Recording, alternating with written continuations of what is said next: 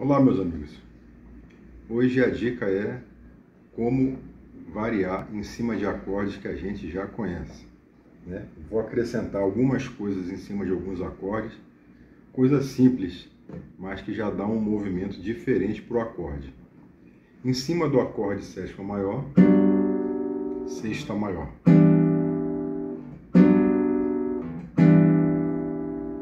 Em cima do acorde menor, décima primeira.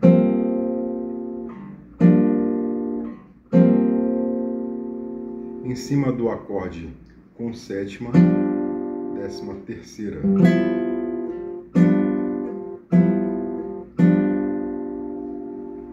Ou sétima, nona.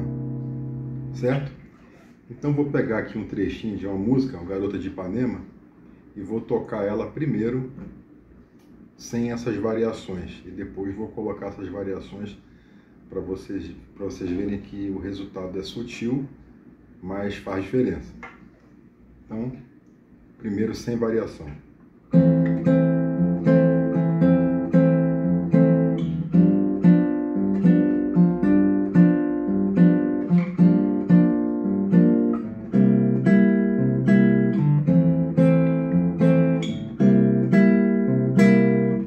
Acrescentando né, essas tensões que eu falei, né, essas variaçõezinhas, que já dão um movimento harmônico interessante para o acorde.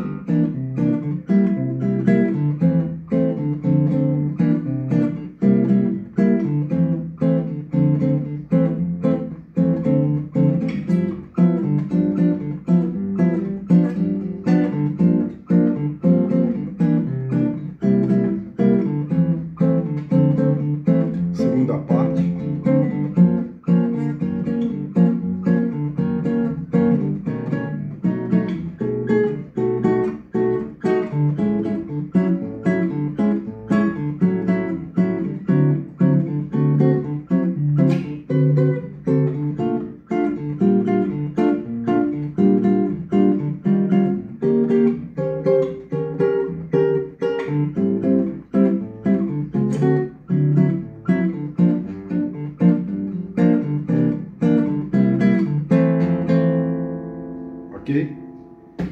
Um abraço.